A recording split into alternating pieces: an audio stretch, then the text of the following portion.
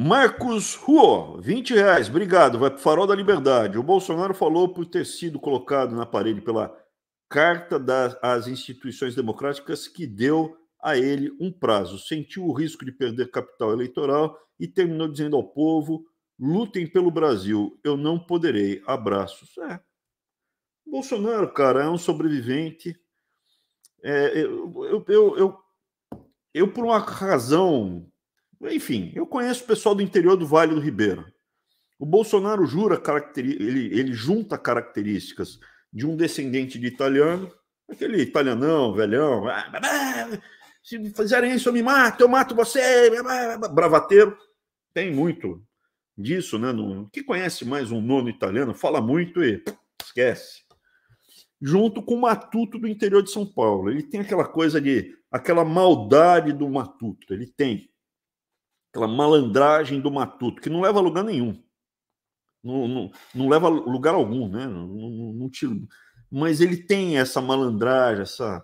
Então, assim, ele fala, vai na frente, isso aí corre, ao mesmo tempo que ele faz as bravatas. Vai lá, mostra aí, tá, ele dá uma linha para você, você vai, se rasga, e depois ele tira o corpo e fala, pô, você exagerou. Mas eu sou patriota por Deus, pela família, e não sei o que lá, pá, sou muito honesto, e o meu Flávio e o jet ski. É isso. Mas não se sinta, não se sinta diminuído por ter sido enganado. Eu fui enganado. Eu falo às vezes, não é a primeira vez que eu sou enganado por alguém e não vai ser a última, porque eu continuo acreditando nas pessoas. Quando você deixa de acreditar nas pessoas, você morreu por dentro, né? Então, Ser enganado de vez em quando faz parte. Ele é bom nisso, cara. Ele é bom, ele realmente ele é diferente. Quando você olha assim, é, um Valdemar da Costa Neto, fala, não, esse cara não. não. E olha para o Bolsonaro e fala, não, Bolsonaro, ele é chucro, tá, chucrão, tal, tá, mas é honesto. Eu acho que o Bolsonaro ele não, se tinha, ele não tinha se corrompido antes, porque o, ele só teve acesso a muito, ele e a família dele, né? A muita coisa quando chegou à presidência. Vamos para o próximo? Davi Vieira, como você explicaria a decadência do Ocidente? Abraço. Decadência do Ocidente, eu acho que tem a ver muito com esse choque cultural que está tá havendo. Se você pegar é, o Ocidente, o, que é a cultura ocidental? É a fusão do pensamento científico, né, filosófico greco-romano com valores judaico-cristãos. Então, quando você tem a fusão dos dois, isso se dá através né, do pensamento científico. Você tinha os filósofos gregos, duas linhas de pensamento, a platônica e a de Aristóteles, inclusive com a divisão das escolas, o liceu e academia. Depois você vai dar um Google, dar uma pesquisada, saber mais detalhes, não vou falar, discorrer. E o que, que aconteceu? Quando você começa a fusão, daí você, era uma loucura, né? O Império Romano, os valores eram horrorosos. Aí você traz valores judaicos.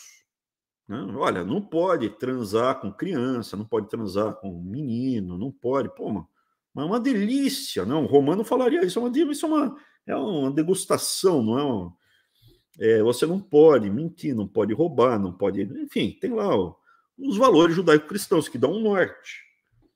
Mas a forma de pensar é greco-romana. Primeiro, Santo Agostinho consegue capturar isso e faz com que é, o nascimento da Igreja Católica tenha muito da linha é, platônica. Só que você perde a parte científica, que é muito forte. Havia divisão nas escolas, a aristotélica e a platônica, o liceu contra a academia. Você perde a linha de ciência para valer mesmo, aristotélica, que ela é resgatada com São Tomás de Aquino. São Tomás de Aquino resgata o Aristóteles, e eu acho, a partir disso, você tem margem para o Renascimento. É, a base, sem, sem, o Aristóteles, sem o Aristóteles, sem São Tomás de Aquino, você não conseguiria ter a pesquisa científica que você tem hoje. É, então, veja, o mundo ocidental é baseado em valores. A gente se comporta, ou deveria se comportar, ou historicamente se comporta, como está lá na Bíblia. Mas a gente não pensa como as pessoas pensavam na Bíblia. A forma de pensar, né? Olha, é científica. Se A igual a B, B igual a C, então A igual a C. Se eu juntar os mesmos componentes e tiver o mesmo resultado, se eu fizer isso mil vezes, o resultado vai ser o mesmo. Então, assim, veja, esse é o pensamento científico. O que que você, o que que acontece em, ali em torno de no século XVIII? Começa a ter um movimento de disruptura, de contestação da sociedade, o movimento socialista, isso vai ganhando corpo, vem o marxismo, a começa na Revolução Francesa, depois tem, antes até da Revolução Francesa, depois tem a Revolução Bolchevique, e isso é o, a base do socialismo, comunismo, que é contestar justamente essa fusão, essa cultura ocidental. E ele vem se desenvolvendo ao longo do tempo, vem ocupando espaço, ele vem aprendendo, vem parasitando, vem ocupando espaço. Tá? É, é um choque civilizatório. Eu, eu, eu trago essa bagagem muito no livro do Samuel Huntington, Clash of Civilizations. Ele não fala da cultura da civilização socialista, mas eu acho que a civilização socialista ela existe. São algumas famílias, elas vão espalhando, ganhando corpo, como se fosse uma religião, e vão se adaptando. Elas vão alterando. Começou com, vai na Revolução Comunista, era sindicalista, depois virou gramscista, agora é a escola de Frankfurt. O Haddad não tem nada a ver com o, um sindicalista da década de 60 ou de 70 está a milhas de distância. É outro bicho, mas está na mesma religião, na mesma, no mesmo, na mesma proposta de civilização que eles querem construir no território ocidental. E nós, vai, nós é, você está me escutando, eu acredito que você não está satisfeito com isso. Nós não encontramos ainda os instrumentos necessários para enfrentar essa cultura, essa civilização, essa religião comunista eu acredito que a gente tem alguns instrumentos. Fala assim, você está pronto para. Óbvio que não. Né? Eu fui para uma eleição recebi 4 mil votos.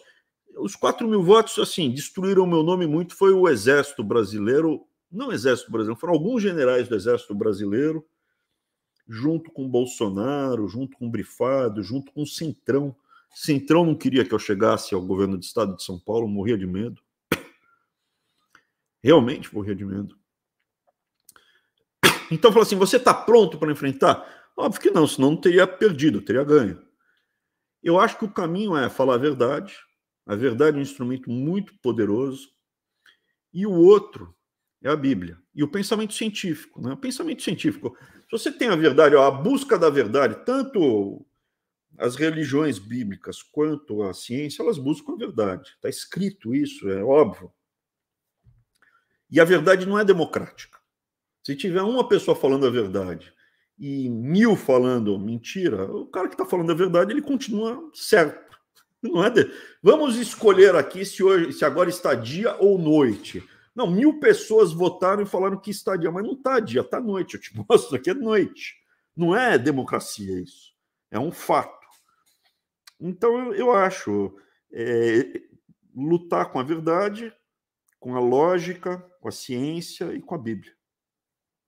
Mas falar, você já está pronto para vencer? Óbvio que não, senão já teria vencido. O, nesse, nesse momento de derrota, deixa eu desenvolver um pouco mais, Davi. Nesse momento de derrota, a gente perdeu o país. Os generais, meu, já fecharam acordo aí com, com, com o PT, já estão, todo mundo está satisfeito, se locupletando aí, está tudo psh, feliz da vida. Família Bolsonaro, Flavião aí já já está conversando com Alexandre de Moraes, como você viu. O que, que acontece? Nesse momento, eu acho que cada indivíduo tem que ser um bastião de resistência. Então a força tem que ser uma força interna, sua. Quem você é, o que você é. Mesmo você estando numa pocilga, te jogaram numa pocilga, te jogaram no chiqueiro. Eu não sou porco. Eu me recuso a comer cocô e falar que isso daqui é bom. Eu me recuso. Eu me recuso a virar linguiça. Você pode me matar, mas Voluntariamente eu não vou virar linguiça. Eu me recuso a acreditar nas mentiras dos brifados. Eu me recuso a bater palma para o Lula. Eu me recuso a considerar o Jair Messias Bolsonaro uma pessoa honesta. Eu me recuso. Ah, por quê? Porque os meus olhos, enquanto você não provar que eu estou tendo alucinações, se você provar que eu sou louco, alucinado, eu vou me tratar, tomar lítio e falar, gente, eu estou tomando lítio. Então, a alucinação. Enquanto você não me provar que eu estou tendo alucinações, eu me recuso. E eu vou falar a verdade. E isso te torna uma pessoa indestrutível. Podem te matar, mas não vão te destruir. Não vão tirar sua dignidade. Você vê o Tite, perdeu. Foi chorar no banheiro. Milionário, o cara tem muito mais dinheiro que eu. Bolsonaro saiu primeira vez que está falando, de novo, né? Está falando aí as abobrinhas dele, as mentiras dele. Eu perdi no dia seguinte, estava com vocês aqui na tela falando, eu perdi. Mas eu continuo sendo a mesma pessoa. Na vitória eu sou a mesma pessoa, na derrota também. Eu continuo sendo a mesma pessoa. Quando eu viro ministro, eu, me, eu, eu estou ministro, eu não sou o ministro, eu sou Abraão. Eu não sou professor, eu estou como professor da Universidade Federal de São Paulo, eu estou como diretor do Banco Mundial, ou estou como diretor do Banco Votorantim, ou estou como. Mas quem eu sou. Essa força que você tem que buscar internamente. E a resposta que eu te dou está muito mais na Bíblia do que na ciência. Tá? Esse, é isso que nós temos que fazer hoje. Cada um de nós sermos um bastião de resistência. E espalhar a palavra um por um. Ser um pescador de homens. Estou aqui fazendo a live, tem 411 pessoas me assistindo faria essa live para 50 pessoas. Se você pegar quando eu falava para mil, dez mil, é a mesma pessoa. Tá bom? Vamos para o próximo? Daniel Bart Pless, 15 reais. Eibe, como investimento e proteção, vale a pena comprar bondes de empresas brasileiras sólidas? Sim. Setores de mineração e energia. A taxa cupom está entre 8 e 9% em dólar no câmbio atual. Ótimo, pode fazer. Próximo. Muito bom. Santa Catarina ficou embaixo d'água com pessoas desabrigadas e mortas. E eh, volta lá no anterior. Eu fiz da Gerdau essa semana, tá? Eu fiz da Gerdau essa semana. Essa semana eu fiz da Gerdau. Só que a Gerdau não estava nessa taxa de 8, 9%, não. Ou você está fazendo muito longe, ou, tem, ou é empresa com mais risco, tá? Eu fiz da Gerdau. Vamos para o próximo.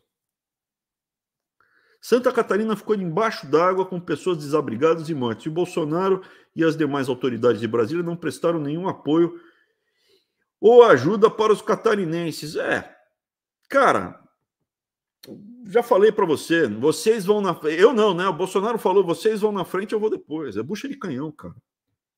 Não tem, ele não se identifica com a pessoa ao lado. Na escada para o sucesso, o degrau é o pescoço das pessoas ao seu redor, na cabeça deles, né? E o corrimão é o saco do chefe.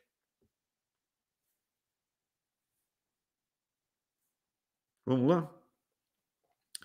Diana Seckler, 10 reais, obrigado. Boa noite, Abraão. Existe alguma chance de parar o STF e o Alexandre de Moraes com o Senado do ano que vem? Não, não tem chance alguma. Chance de parar zero. Zero. Como é que funciona? Desse jeitinho que você viu o Flávio. Eu fui falar com ele, com o Alexandre de Moraes, uma pessoa muito agradável no trato. Negociei, acertei os detalhes, pô, Saí de lá e ele me colocou no processo. O que eles vão negociar é para limpar o nome deles, tirar o nome deles de processos. Vão fechar. O, o acordo é o seguinte: você não mexe com a gente, eu não mexo com vocês. Você acha que o astronauta vai comprar briga para mudar o Brasil? Você acha que o Mourão vai comprar briga para mudar o Brasil? Não. Beleza?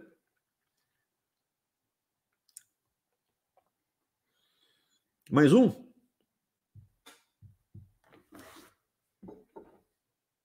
Elvis? Rodrigo Santos Barbosa, 10 reais. Abraham, comecei a ver seus vídeos há umas duas semanas e tem sido libertador. Agradeço por toda essa dedicação. Você pode nos dizer qual é a definição de um progressista? Eu odeio essa definição, porque progressista é uma palavra, é uma palavra que eles criaram para se autodefinir. Você tem que, primeira coisa, para você se libertar, é conhecer as palavras, é saber a linguagem. Isso daí tem a ver muito com um filósofo chamado Wittgenstein. Não vou entrar muito nesse detalhe, tá? De Wittgenstein o pensamento e as palavras, se você não tem controle do seu vocabulário, ou se alguém controla o seu vocabulário, controla o seu pensamento. Isso está também no George Orwell. Se em vez de progressista fosse porco, imundo, cachorro sifilítico, né? os cachorros, os cachorros sifilíticos, era um nome que Progressista é um nome bonito. Desenvolvimentista é um nome bonito para quê? Para essa doença. Para essa doença que é o comunismo, o socialismo. Tá? É um nome bonito para comunista, socialista, esquerdista, progressista, desenvolvimentista. É mentira. O que eles querem é uma ruptura o progressismo não é progressismo, é uma ruptura com valores morais judaico-cristãos é, do pensamento científico. A ciência é burguesa, tá? Herbert Marcuse, que é um dos, dos falsos santos dos esquerdistas atuais, nesse né? último movimento, Escola de Frankfurt, tá? A ciência é burguesa. A matemática, eu escutei isso. A matemática de, de comunista, de comunistinha de progressista ou desenvolvimentista. Eu escutei isso, a matemática está a serviço do imperialismo. A biologia é opressora. Você fala assim, pô, mas homem, mulher, mulher tem XY, homem tem. Não, mulher tem XX e homem tem XY, não tem o que discutir. Isso é um aspecto biológico. A biologia é opressora. Pô, a biologia não é opressora, cara. É a busca da verdade. Você pode ter a orientação sexual que você tiver, não me interessa. Mas biologicamente, geneticamente, XX, XY. A biologia é opressora. Matematicamente, o que está falando é mentira. A matemática está a serviço do imperialismo yankee. Pô, entendeu? Então, assim, o que, que é progressismo? É um nome bonito para. Ou desenvolvimentista, é um nome bonito para comunista. Assim como, se você pegar na reunião famosa que foi vazada, Vazada não, estava sendo gravada sem, sem o meu conhecimento. Eu ali estava brigando com os ministros que, na sala. Tem ministro aqui que se acha melhor do que o povo. Foi antes deles abrirem a porta para o Centrão, porque eles já estavam querendo abrir as portas para o Centrão. Mas ali na reunião, eu, eu mandei um, um, um, um mandei um indireto. Eu falei na lata, para Damares. Damares, aqui, ó, eu tenho nojo de usar termos que você acabou de usar povos indígenas, povos ciganos. Não pode usar isso. Por quê? Porque no Brasil só tem um povo, que é o povo brasileiro. Então, se você começa a usar o linguajar deles, você cai na agenda deles. A partir do momento que você aceita que no Brasil existem povos, tem brasileiro que é índio, tem brasileiro que é cigano, tem brasileiro que, meu, é tatu com cobra, misturado, que é a maioria mas é todo mundo brasileiro. Não me interessa se é loiro, branco, preto, azul, amarelo. É todo mundo brasileiro. Dentro do território brasileiro só tem um povo, que é o povo brasileiro. Quando a Damares usa povos indígenas ou povos ciganos, ela cria o quê? O precedente de esquerda para você tratar eles fora da legislação e, no limite, permitir a criação de territórios. Por quê? Porque já tem mais de 100 anos que está consolidada a autodeterminação dos povos. Se existe um povo, esse povo tem o direito de escolher o que ele quer, em termos de legislação, ou se separar e falar: não, eu quero ser um país aqui, território, ser livre. Então, quando você, dentro de uma reunião ministerial de um governo que se intitulava na época de direita, uma ministra usa o termo povos ciganos, povos indígenas, a batalha está perdida. Está perdida. Dava para ver a minha cara ali, como eu estava é, é, é, triste com os rumos do governo. Dava para ver, minha cara. Eu estava muito, eu estava brigando com os ministros ali. E o o, o Vapassa estava sentado do meu lado, esse daí, meu, tem a agenda dele. Entrou mudo, saiu calado, estava lá para bater, bater a agendinha dele lá, fazer as coisas que tem. Esse daí é o novo Maluf. O Uva Passo Tarcísio é o novo Paulo, Paulo Salim Maluf. Inclusive está cercado dos mesmos amigos do Maluf, que é o, o Kassab, o Afif Domingos, toda essa turma, Michel Temer, mesma turma. Vamos lá? Mei, obrigado, Mei. Manda um beijo para Irene e para o time Unicórnio. Irene, um beijão. Eu, eu, eu achei uma foto super bonita do unicórnio. Por que, por que unicórnio? Eu levei um chifre na cabeça, mas é um só. Tá? O Bolsonaro não me engana mais. Nos Estados Unidos você fala o seguinte: If you, if you fool me once, shame on you. If you fool me twice, shame on me. Se você me enganar uma vez, é você que tem que ter vergonha, porque você é um larápio, um malandro, um safado. A segunda, a segunda vez, não. Aí eu sou um cara. Aí a, a vergonha é minha, né? Eu que tenho que ter vergonha de ser um otário, né? um corno manso. Então o Bolsonaro é isso, cara. Ele me enganou uma vez. Ele, a família dele, não me engana mais, cara. Me enganou. Eu achei que eles eram corretos. Eu achei que eles eram corretos. Talvez na época ainda fossem por falta de oportunidade. É, tem muita tentação em Brasília. Quando você chega ao poder, tem muita tentação. Se você não tiver nojo, é difícil de escapar. Obrigado, Ney. Fica com Deus. Rinoceronte, pô, é isso aí, meu. Marcos Paulo Candeloro, rinoceronte. Aqui é, é, é o meu lado homoerótico. Eu prefiro unicórnio. Juliano Veronese, 100 reais. Obrigado, Juliano. Vai para o Farol da Liberdade. Ei, tive a oportunidade de conhecê-lo através do Dr. Luciano na sua casa em São Paulo. Você conversando com os presentes para, para, para se candidatar a governador. Acompanhava já no ministério e ficou muito cl claro para mim depois daquela reunião.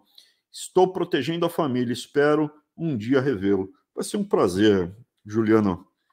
Vai ser um prazer se a gente puder se rever. Eu acho que nesse momento você está certo, é proteger a família. Se está com o Luciano, você sabe que tem muito mais coisa ruim acontecendo. Você está tendo um monte de casos de miocardite que são de difícil explicação. Tem muita coisa errada acontecendo no Brasil e no mundo, tá? E agora com uva passa em São Paulo, toma muito cuidado. Com o governo Lula também. Não que com o Bolsonaro não não, se ele fosse reeleito, ia andar do mesmo jeito, mas fique esperto, tá? Fique esperto, fica com Deus, Juliano. Cuida da família, é isso aí. Obrigado. Doutor Renan Bolcout, dois reais. E a Bolsa Americana, Abraão, está boa para comprar? Eu acho que ainda não chegou no ponto. Mas vai, vai dar ponto de compra sim, tá? Se quiser já montando uma carteirinha, é, eu, eu, tô, eu tô olhando ETFs, tá? ETF é um, é um fundo passivo que mimetiza algum índice de preços a um custo muito baixo. Eu acho que vai dar ponto de compra, sim, tá? Já pode, pode, pode se preparar. Não sei se agora já deu, daqui a seis meses. Pode comprar. Pode comprar. Vai comprando. Você tem uma carteirinha, vai, vamos dizer, você tem uma posição que você quer montar de 100, Vai comprando 10 por mês. Eu vou começar a comprar, acho que ano que vem. Lembra, quem acerta, desculpa o termo, quem acerta o bumbum da mosca é o mosco. Se você não é mosco, esquece querer acertar o ponto, não vai conseguir. Vai montando, já, já, já eu acho que já já pode começar a comprar bolsa americana, índice geral. Tal, tal. Eu estava analisando qual ETF que eu tinha mais interesse de comprar, tal. Estou escolhendo, estou de olho. Beleza? Harvey, 10 reais. Obrigado, Harvey. Eibe, depois de ver suas aulas sobre República, pesquisei um pouco e vi que o golpe contra a família real fez um mal quase que irremediável ao nosso país. O problema não foi só o golpe. Esses generais, eles criaram uma indústria de mentira e ao longo do tempo ela foi se sofisticando. E essa mentira foi sendo contada, eles aprenderam a manipular. A política é mentira. Então, toda vez que a gente começa a querer escapar dessa dinâmica porca de corrupção, esquerdismo, esquerdismo já está com a gente há quase 100 anos no Brasil. Os generais puxam de volta, quase como se fosse aquele filme Matrix. Finalmente o Neil chega no lugar, né? O herói chega no lugar. Eu falo, você é o 18 cara que chega aqui. Agora vai começar tudo do zero de novo. Bolsonaro chegou lá, cara, e aí ele falou: beleza, agora eu vou me lambuzar aqui. Só que eu estava do lado e contei. Não preferi não ficar quieto, não me vendi. Não me vendi. Ah, por que você não se vendeu? Porque eu sou o último romântico do Brasil. Se isso que é bom, hein? Pô. Éder de Paula, obrigado, Éder. Boa noite, Abe. O que fazer para parar a cabeça, o cabeça de ovo? Na, hoje a gente não tem como. Teria uma estratégia, eu e o Arthur, acionando organismos internacionais e governos de outros países. Hoje não tem como. Isso já passou dos limites, já passou há muito tempo, Eda. Não existe mais ordem jurídica, parece não haver nada que pare isso. Não tem. Porque quando o cara chega lá para negociar com, com Alexandre de Moraes, é o que o Flávio falou. O Flávio falou, cara. Cheguei lá, acertei tudo, conversei, o cara super agradável. Semana seguinte eu estava no processo. Ele entra lá para negociar, para tirar o nome dele dos processos, cara. É isso que ele negocia. Entendeu? Ele e todo mundo que foi eleito, cara. Não... Cara, a gente não tem ninguém lá para brigar pelas nossas famílias. Não tem. Você pega, de novo, eu vou contar isso para vocês. É, eu contei que eu gastei um milhão de reais como homem público, com segurança, mudança da família para Brasília, para cá, para lá, é com é, custas judiciais, né? Com, eu, eu sofri 180 processos, não perdi um e processei um buzilhão de gente. É, com a campanha, eu não usei dinheiro público, eu não usei dinheiro do fundão. Você vê, eu tenho advogados, eu acho, melhores que o Douglas. Meus advogados são muito bons. Não perdi um processo. Tá, o Auro, o, o Vitor Meta, o Auro Radano, o Vitor Meta. Olha tudo que coisa com eles. Tem, tem alguns escritórios ali. Não quero ser injusto, tem mais gente também que ajudou a gente nesse período. São advogados muito bons. Mas o Douglas quebrou, cara. Você vê, o Douglas quebrou. Ele falou: é muita custa judicial, não tenho como, eu não consigo dar conta. É muito... Então, você vê alguém, além de mim e do Douglas, reclamar disso? Não tem. O pessoal se acerta. O pessoal não está lá para isso, cara. O pessoal está para se dar bem, cara. Eu sei, não todos. Alguns não tem, são mais medrosos, outros ficam mais quietinhos, mas não, não tem, cara. Desculpa era, era a nossa turma, a gente não, não conseguiu voto, cara. Não tem, não tem. O outro lá, o Van Hatten, não, esquece, esquece. Quantos processos ele toma? MBL, esquece. Tá sempre na ponta errada. Vamos lá? Elga Marte, obrigado, Elga. Pô, R$ 279,90, 280 reais, super sticker, obrigado. Pô, manda uma pergunta também. Obrigado. A gente vai tentar montar aí algum esquema, alguma estrutura para as pessoas poderem fazer contribuição se quiserem fazer para o Farol da Liberdade. A gente utiliza esse dinheiro eventualmente para apoiar alguém, para mandar recursos para alguém que esteja enfrentando uma batalha contra aí, os bolsos brifados petistas, etc. Ou fazer uma campanha, enfim, gente, é, em breve tem o canal Weintraub, manda, manda os vampetaços para lá, manda também as suas sugestões. E em breve a gente vai ter aí um, uma solução para quem quiser fazer contribuição também. Mas obrigado, Elga, obrigado mesmo. Marcelo Mendes, cinco reais. Abraão, boa noite. Existem pessoas que estão praticamente malucas com essa história de ficar na frente do quartel. O que você acha? Vai dar em algo? Vai, já deu. Já deu, já deu o resultado. Os generais conseguiram negociar com o PT o José Múcio, que era o nome que eles queriam. Eles não queriam o Jobim, não queriam o, o, o, um nome mais de esquerda, e assim, poderia ser o Aldo Rebelo, mas eles preferiam Zé Múcio, muito mais agradável, muito melhor. Conseguiram, Zé Múcio. que mais que eles conseguiram? Aparentemente vão manter um monte de contratos e vão manter um monte de benefícios. Tá bom? Já deu certo. O pessoal é para a porta do quartel, já deu certo. Eles mantiveram os generais com poder de negociação em relação ao PT. É isso aí, cara. Boa. Elvis, e, e aí, aí, meu? A gente só precisa agora é, definir. Quem tiver interesse, a gente pode de repente mandar o, o, a conta do Farol, manda lá um zap, manda um e-mail para o canal. Isso. Entre em contato no e-mail aí que está passando Entre na tela contato, aí. Eu passo o, a conta. A gente pode passar a conta do Farol, pensar em outra solução e ver.